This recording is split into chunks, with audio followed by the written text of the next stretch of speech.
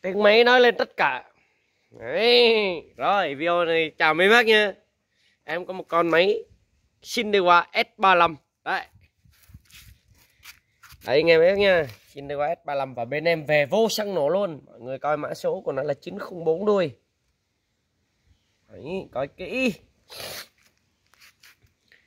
Và em nói thiệt sự luôn nha đợt này mọi người mua Shindewa là nhất sách bởi vì tại sao? Bởi vì bên em quá nhiều hàng. Em bán đi cho nó vãn cái lô hàng đi.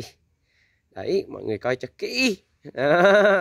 Và con này là một con nguyên rin mọi người nhìn kỹ nha. Chế chiếc là không đụng chạm một cái gì luôn. Bên em về vô xăng nổ luôn.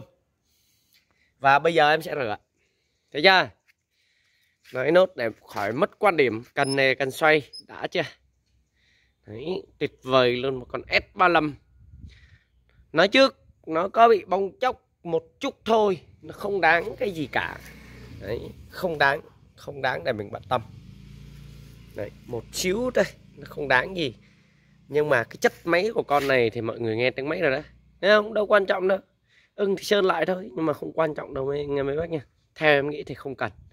Đấy rồi.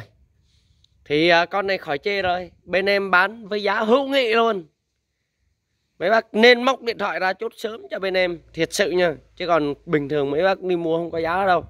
Nhưng mà em bán, em đã nói rồi đợt này em rất là nhiều thứ, nên là em không thể nào mà em dọn được hết được.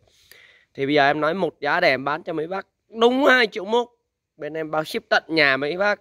Không kèm một cái phụ kiện gì hết. Vừa rồi mấy bác được nghe tiếng máy nó rồi đó còn về ga của nó thì nó nó đầm đầm thôi. Nhưng mà nó đầm, nó mới là một con máy mạnh Đấy.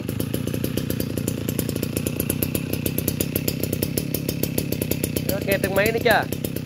Cho nghe, nghe gạt cuối nha nó bình thường thôi. Đấy nó vướng.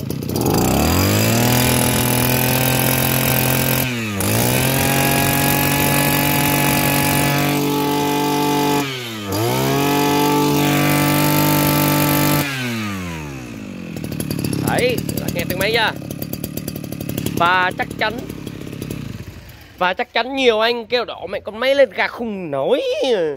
Ôi ơi, con máy lên ca không có nổi. Hổ má không biết xài máy. Những anh đó là phải những con máy thiếu xăng. Đấy, phải thét lên ghê gớm để mới mua được. Nên là không dành cho những anh đó.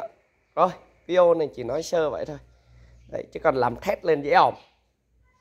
Nhưng mà nó đúng. Nhật đã tính nhất rồi. Rồi, ok, cảm ơn mọi người.